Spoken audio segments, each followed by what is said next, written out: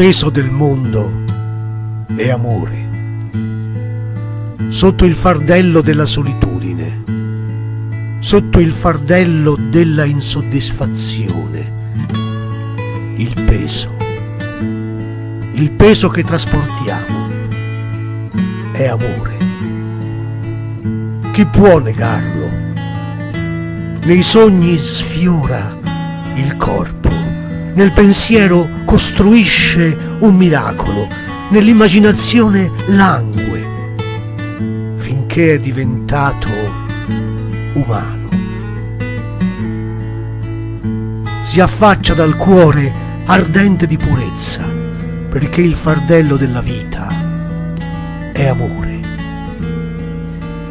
Ma trasportiamo il peso stancamente e così dobbiamo riposare tra le braccia dell'amore, finalmente. Dobbiamo riposare tra le braccia dell'amore.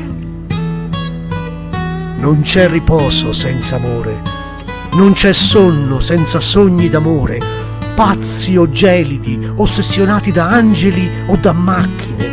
Il desiderio estremo è amore non può essere amaro, non può negare, non può contenersi se negato.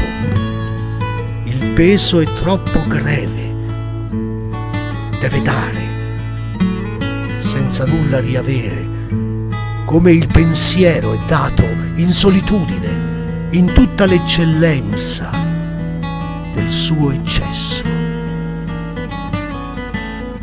I tiepidi corpi brillano insieme nel buio. La mano si muove verso il centro della carne, la pelle trema di felicità e l'anima viene gioconda nell'occhio.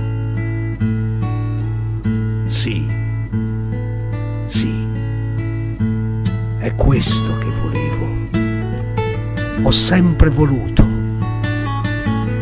ho sempre voluto ritornare al corpo in cui sono